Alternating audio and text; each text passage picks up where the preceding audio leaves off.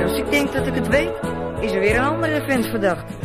En uh, wat betekent die rode Mercedes die in het bos op ze wacht? Nou, ik kijk vast weer naar... Uh...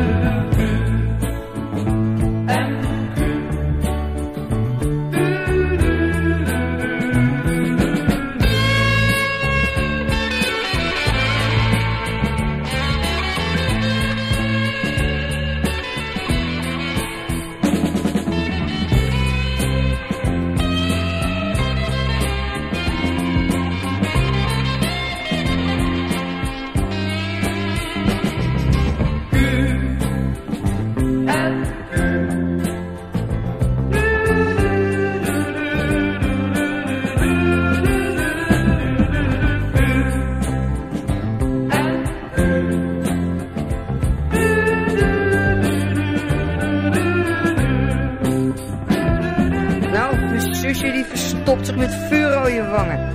Achter de rug van mijn vader's stoel. Af en toe kijkt ze en dan roept ze, ik ben bang.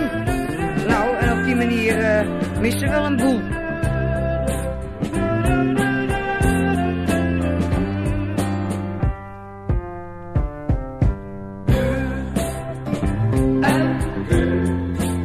Mijn moeder zegt dat ze weet wie het gedaan heeft.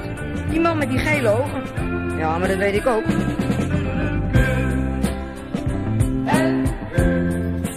Zwartjes, die wou het huis natuurlijk verkopen of zo.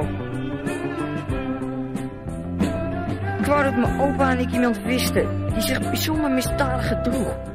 Want dan dacht ik natuurlijk meteen weer een paar listen. Ik ken listen genoeg.